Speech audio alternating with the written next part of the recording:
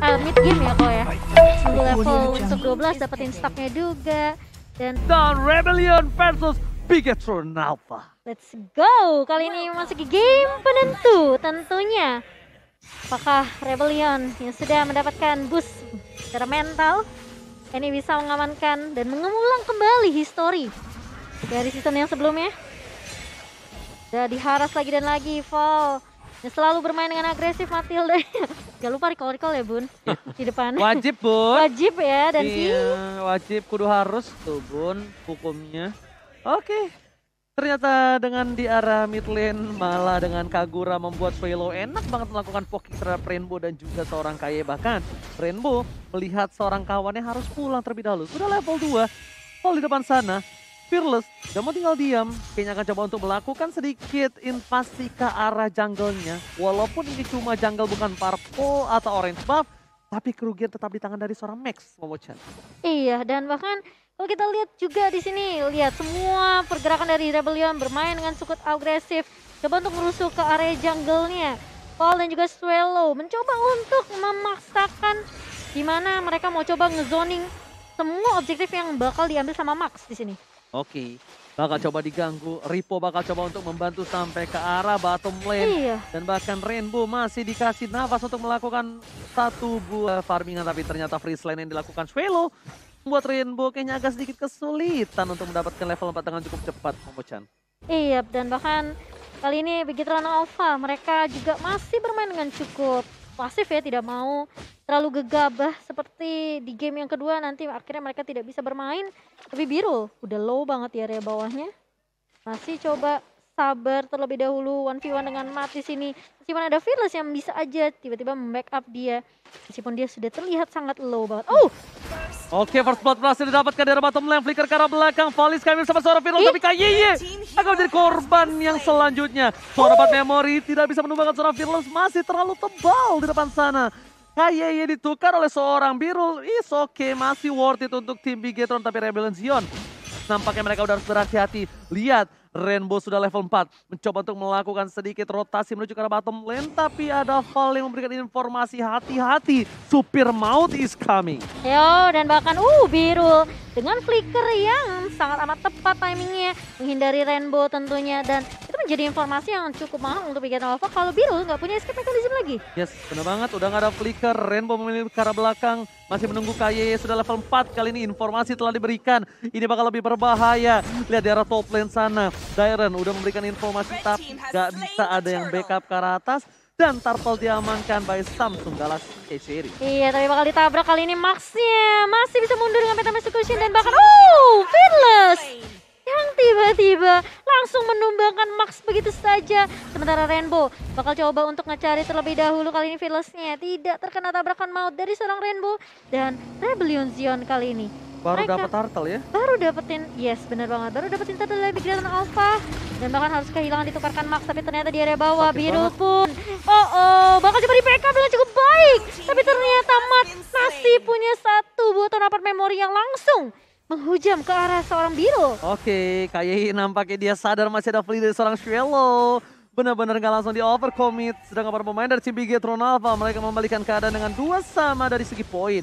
Dari bottom lane, Matt bakal dapetin lebih keuntungan karena udah ada dua poin kill dan plating istri lagi dan lagi memucan plating dilakukan oleh seorang Matt Hmm. untuk bisa mendapatkan gold lebih banyak. Lihat di arah sana, Rainbow is coming bersama seorang man. Ninu ninat, ninut nut nut.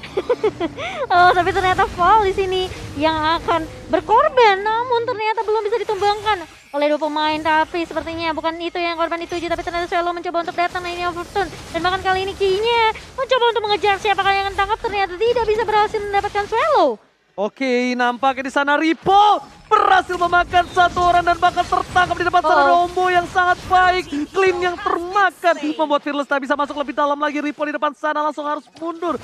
Ripo akhirnya membuat pertempuran tadi tidak menjadi sia-sia untuk tim Bigetron Alpha pengawal.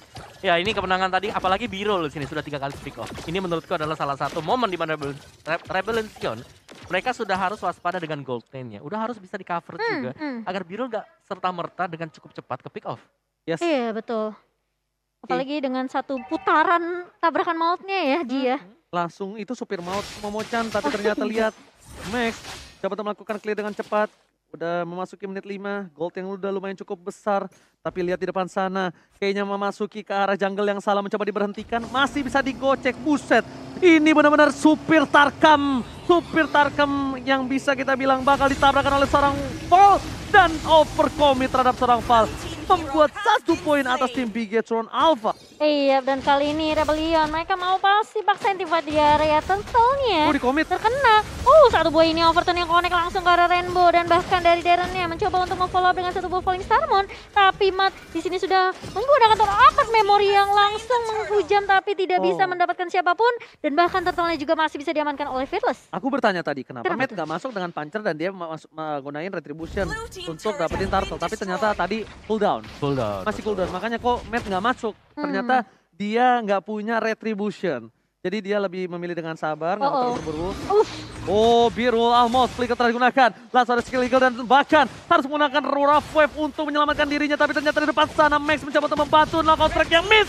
One last hit, quick throw berhasil menyelamatkan hari dari tim Revelation. Bahkan di depan sana Val masih bisa selamat dari permainan tim Tiga Tronalva. ini kayak satu persatu mulai keculik begitu saja dan Matt sudah ketahuan posisinya dan bahkan Birul pun langsung men-shutdown dari Fall-nya kali ini. Tidak berhasil untuk mendapatkan satu pemain dari Rebellion bah malah Mattnya yang ke pick off begitu saja. Meskipun Oh. akhirnya Fall yang harus menjual nyawanya juga ya.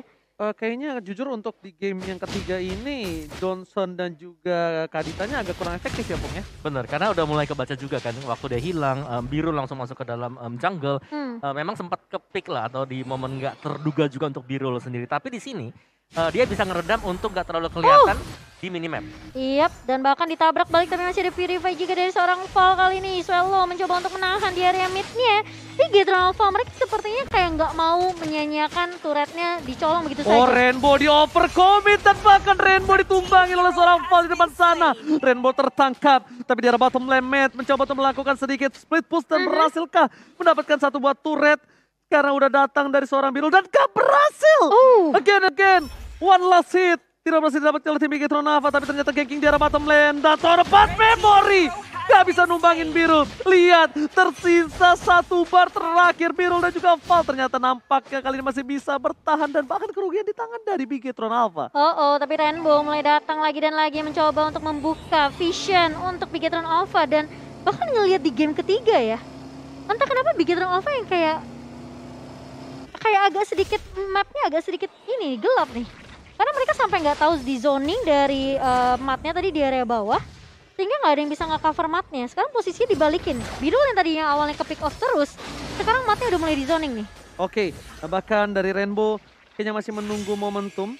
Dia bakal masih menunggu sedikit eh, kombinasi dari seorang KY karena dia nggak bisa melakukan overcommit dan Rainbow nggak memiliki damage. Tapi lihat Rainbow ke bawah dan semua damage kali ini masih dihindari. Tapi untungnya Flicker di saat KYY berada di dekat Oh. situ ditabrak kembali. KYY masih mau lebih. Val masih coba bertahan. Udah ada Tina Shield kali ini tidak mungkin bisa ditumbangi dengan secara instan tanpa adanya.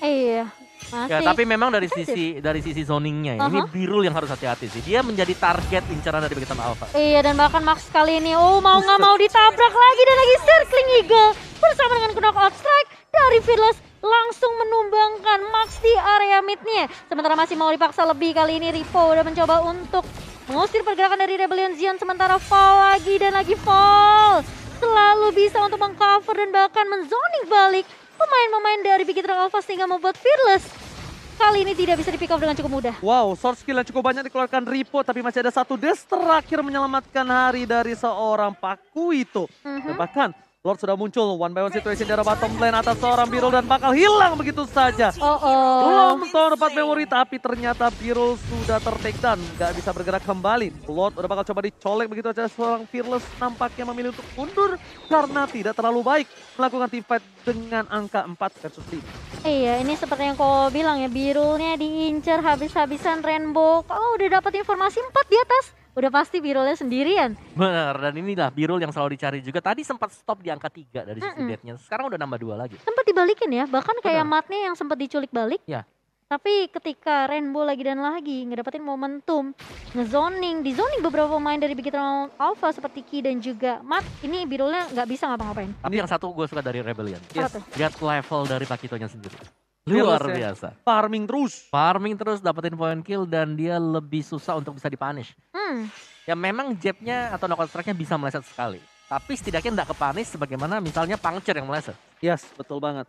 Tapi lihat di depan sana dari segi itemnya Matt udah langsung menuju ke arah satu buah Malefic harusnya ya. Dan di sisi lain, wah Fearless ini udah sakit 8 banget. ribu Ji. Iya, 8000 dia immortal kah? Eh, em, kayaknya iya deh. Iya, Immortal. Immortal apa antiquiras? Imo gak sih? Kayaknya immortal deh. Bisa imo ya? Iya. Bisa imo terus habis itu Malefic Troll. Wah, dipukul palanya bererakan Oh. tapi ternyata Val di sana berhasil menangkap. Kayeye mencoba mengarah ke arah seorang Piro Flicker masih bisa dihindari tapi banget Kayeye yang harus kewalahan. Satu poin telah diamankan. Swelo udah tidak ada kagurannya dan bahkan Val di depan sana mencoba untuk menahan semua Rainbow. Rainbow Mate. bersama Ripo bersama seorang Mat kali ini mencoba mengejar ke arah Val. Lakukan distraction dan nampaknya Val masih selamat. Val tidak tertumbangkan. Jadi mau dikeluarkan dari one by one situation dari mid lane menumbangkan seorang Birul yang udah gak punya flicker lagi. Wow, Max-nya yang terlalu free kan kali ini lihat Fearless yang sudah ketahuan posisinya juga. Max mencoba untuk mencari positioning, repositioning lagi dari seorang Max karena dia nggak sanggup untuk numbangin Fearless sendirian. Dan bahkan kali ini dari Rebellion mereka berfokus untuk ngedapetin turret di area mid. Oh, tapi Fall harus berhati-hati damage turret dan bahkan Lieutenant Welcome Wow. connect tapi di counter balik dengan circling Eagle namun ternyata ada backup yang baik dari teman-temannya itu Rainbow dan juga Ki di area mid. Oke, daerah di sana terlihat dengan jelas oleh seorang Max. Ripo berada di garis depan. Mencoba untuk memberikan sedikit badannya. Ini akan menjadi Lord of Bigetron Alpha kah atau bakal dikontes oleh tim Rebellion Zion. Dan setelah lagi, lihat kayak ke arah belakang. Shello akan menjadi Uh, pilihan. Dan digocek. bahkan Fearless yang tertangkap. Dan Rafael mencatat. Fearless harus hilang di telan bumi. Kayaknya berhasil menyelamatkan Bigetron Alpha untuk kali ini. Dan harusnya Retribution on point dari seorang Max membuat Lord sangat bebas di tangan dari Bigetron Alpha. Ditambah dengan Piro yang harus kembali dilahap oleh seorang Brody. Wah, ini sulit banget ya dari Rebellion Zion. Meskipun mereka kelihatan tanky banget ya kok.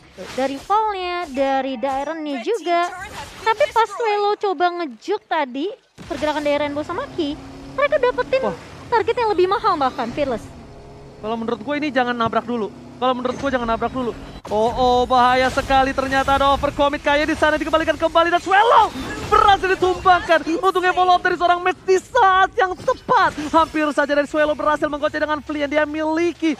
Tapi dengan keuntungan yang dimiliki dari seorang Bigetron Alpha, ini membuat Rebellion Zion harus melakukan pertahanan dengan 4 versus 5 Momochan. Ini bencana. Oh oh oh oh dan bahkan kali ini dari Rebellion Zion mereka mau nggak mau harus nge-clear load terlebih dahulu di area bawah dan aku merasa kayak Biro memang nggak punya item yang cukup dia nggak ada damage yang benar-benar bisa ngebantu Rebellion Zion di team fight-nya Yes, apalagi dengan target yang diberikan oleh Bigetron Alpha sendiri ya.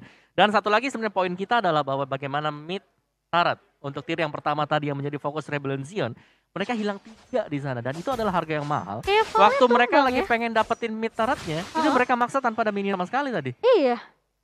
Kayak mungkin kalkulasinya agak sedikit miss eh, dari Fall sendiri sampai akhirnya dia meskipun udah pakai sekelingnya juga masih ke pick off juga. Tapi kali ini dari Dairan mencoba untuk mengusir pergerakan dari Bigatron Alpha di area midnya. Ripo harus ngedapetin stack dari Big Guy terlebih dahulu kali ini.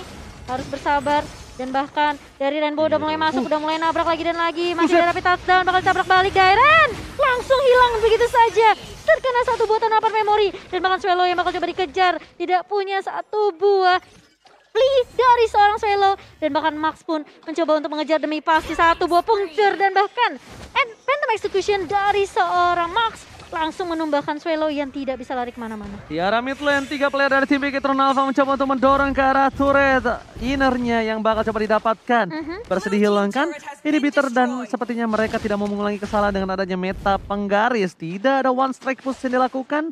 Mereka memilih untuk mundur walaupun keuntungan di tangan mereka dengan posisi 3 versus 5 Mhm. yang harusnya setidaknya mereka memaksa. Entah mereka kalau nggak dapat turret, mereka tuh dapat point kill. Hmm. Iya. Ya. Tapi untuk sementara sih dari Zion mereka harus fokus ke Birul. Birul ini item harus jadi dulu satu atau dua item lagi karena dia fokus untuk mendapatkan item attack. Yang berarti bahwa secara defense ini sangat lemah banget karena satu buah rapid touchdown ini udah pasti sih bakal Iya. meng-KO Birul. Kalau kenanya pas on point ke dia lagi. Yes. Ini sem- sulit. Semuanya kan bahkan ke Birul. Tapi bahkan sini udah punya immortality, udah punya brute force juga kok. Mhm. Jadi defensif banget dari Mate dan biru lagi dan lagi baru dibahas sama Kowawa langsung hilang untuk yang kedelapan kalinya. Walaupun bersama Dairon yang tanky banget di depan, ini masih nggak bisa menahan pergerakan damage dari uh, Bi- Bigetron Alpha karena matnya udah jadi banget. Maxnya juga di sini dengan damage-nya masih kenal banget. Tuh, ini Bigetron Alpha masih megang banget sih untuk permainannya di game yang ketiga. Apalagi lihat tuh Oh. Rainbow Key. Oh. Nabrak fall kali ini Oji. Oke, tapi ternyata di sana masih bisa selamat. Langsung ada satu buah lapan Detona welcome to my channel. Menuju ke seorang Virlos tadi hilang. Virlosnya nggak bisa bertahan kembali. Tyrant too strong. Purify telah digunakan tapi Todo Bad Memory One last hit. Selalu Iskamina menghindari hingga overternya. Hampir Oh, saja bisa di overcomment tapi Swallow kali ini juga harus menjadi korban yang kedua. Ini bukan hal yang bagus. Ini bencana untuk Rebellion tapi ternyata ada sedikit pause. What happened? I don't know. Oke, kita bakal langsung back to the game di mana kali ini langsung fokus menuju ke arah Lord. Lord yang udah lumayan tebal tapi untungnya belum berubah menjadi Lord paling ganas sedunia, ya kan? Ketika menit 18, wah itu kasusnya beda tuh. Itu Lord Lordnya aja di atas 18 Cimo. Aha, Mau diambilnya susah. Apalagi habis udah diambil terus di, mau dihilangin kan. saking tebel sakitnya juga ya. Atit. Tati, tati tapi lihat Rainbow mulai rotasi lagi. Mat juga bakal nahan lajunya Minion biar nyamain. Laju Lord juga di area atas dan Rainbow masih ninu ninu. Asik banget dia muterin di area river ya. Dan menunggu momentum yang tepat tentunya untuk seorang Rainbow ngelakuin Nunggu inisiasi. atas sih dia. Mereka nunggu atas nih. Hmm. Mereka nunggu atas masuk, bakal di defense secara bersamaan. Lihat tiga wave datang ke arah inhibitor. Ini saatnya untuk berubah menjadi satu buat transformer. Wah, wah. Dan bahkan lihat Rainbow? langsung berhasil mendapatkan satu poin untuk seorang biru untuk kesembilan kalinya. Rainbow berhasil ditumbangin begitu saja. Tapi Max masih mau lebih. Celah akan menjadi pilihan. Satu poin dan bahkan di sini Max masih bertahan menuju ke arah. Ini Bacana. Lihat base-nya berhasil di clear oleh para pemain dari tim Rebellion tapi Super ternyata? Super Minion tidak tinggal dia. Oh, Fokus ke base apa pun terjadi dan Max save the day. Wow, wow, wow. Dua, satu. Ternyata kita tidak akan melihat Traumatik